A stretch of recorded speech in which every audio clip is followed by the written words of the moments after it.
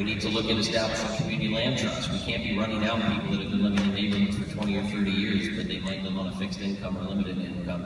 We, we, we can't destroy these neighborhoods and the people that made these neighborhoods what they are.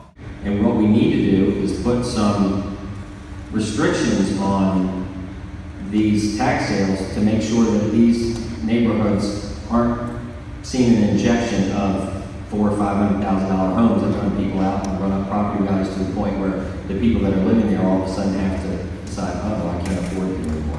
We have to be cognizant of the neighborhoods we're developing. But we need to make sure that the neighborhoods are protected, but, but we do that by having an inclusive process that has their voice heard, and we don't dictate to them what we're going to do. They dictate to us what they want to happen in their neighborhood because we can't run people out. There's so many great neighborhoods in this city. We are a city of neighborhoods. I don't want to be like Austin. I don't want to be like Portland. Richmond is unique Richmond.